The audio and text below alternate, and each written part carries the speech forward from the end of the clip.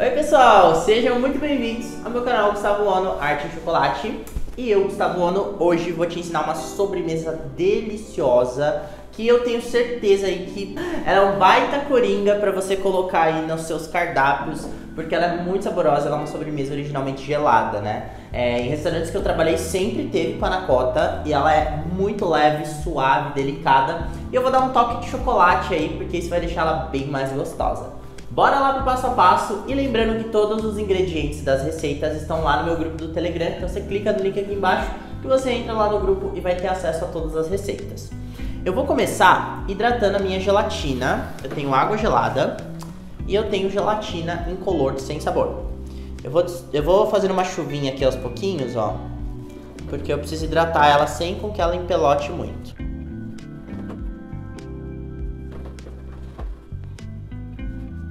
Agora que ela já caiu aqui toda, tem que fazer essa técnica da chuvinha, porque a gelatina fica totalmente hidratada. Eu vou deixar ela descansar um pouquinho, porque ela vai absorver toda essa água e ganhar bastante potência e ficar bem firme. E agora eu vou ferver o leite. Aqui tem uma misturinha já de leite com creme de leite. Eu estou utilizando aqui creme de leite fresco e leite integral. Se você não tiver acesso ao creme de leite fresco, você pode utilizar o creme de leite de latinha ou de caixinha também, que vai dar super certo. É, e eu tenho aqui uma especiaria chamada fava tonka, que originalmente a gente chama de kumaru. E se você é brasileiro, chama de kumaru, para de chamar de fava tonka, porque isso daqui é, é um ingrediente bem antigo.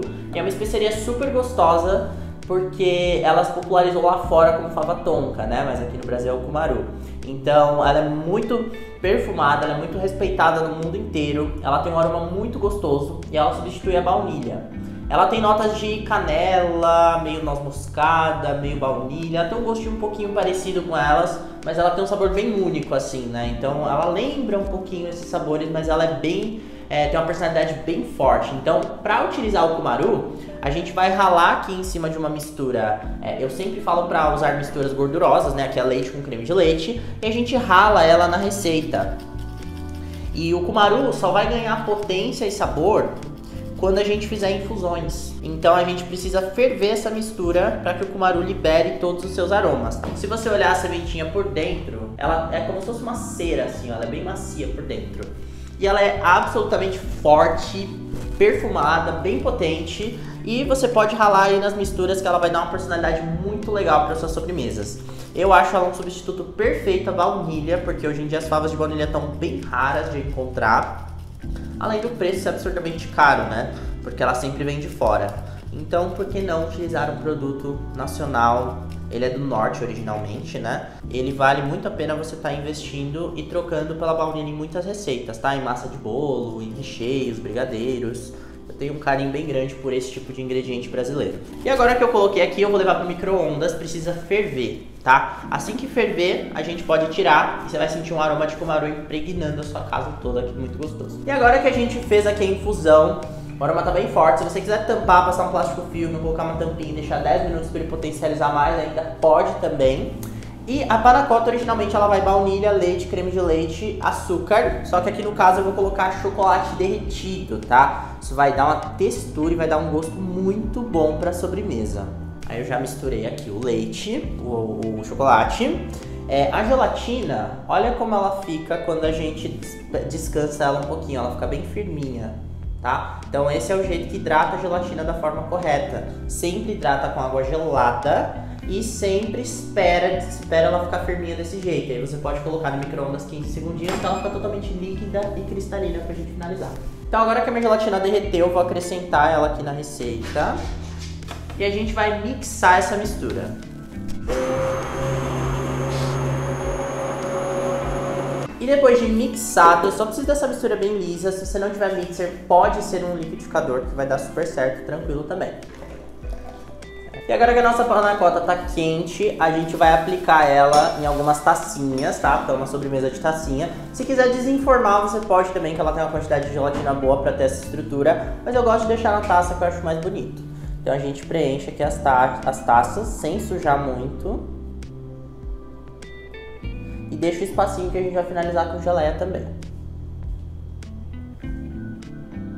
E aí a gente leva pra geladeira por no mínimo 12 horas até que fique bem firme e estável. A gelatina tem que cristalizar totalmente, tá? E aí sim a gente pode fazer a finalização. Então agora que a nossa panacota já endureceu, ó, se a gente virar não cai, ficou bem firminha. Cuidado pra não ficar virando muito, mas senão cai mesmo, tá? É, eu tenho aqui uma geleia de frutas vermelhas da Baldoni, que é um parceiro aqui que me mandou. É, e ela é uma combinação de frutas vermelhas com mel, tá? Se você não comprar esta geleia, você pode fazer aí na sua casa. Como que é? Você vai pegar 200 gramas de frutas vermelhas congeladas, você vai misturar aí com 80 gramas de mel e você vai cozinhar isso até ficar com essa textura aqui bonita, tá? Ó, fica bem brilhante. E aí você pode misturar framboesa com amora, com morango, com mirtilo e ela fica bonita assim. E aí a gente coloca aqui para finalizar a nossa panacota, porque ela dá um brilho, deixa bem bonito em cima.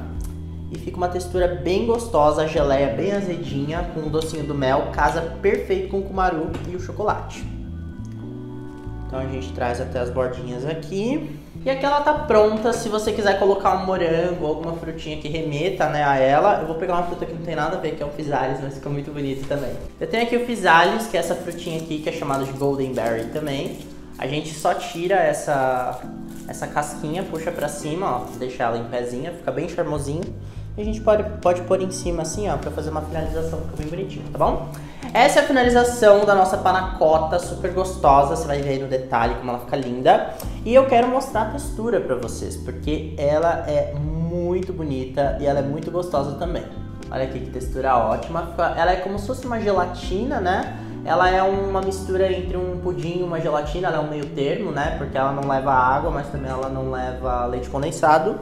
Eu gosto bastante do resultado. Até semana que vem com outra receita deliciosa, talvez não tanto quanto essa. Um beijo e tchau. Hum, com maru, com mel, perfeito.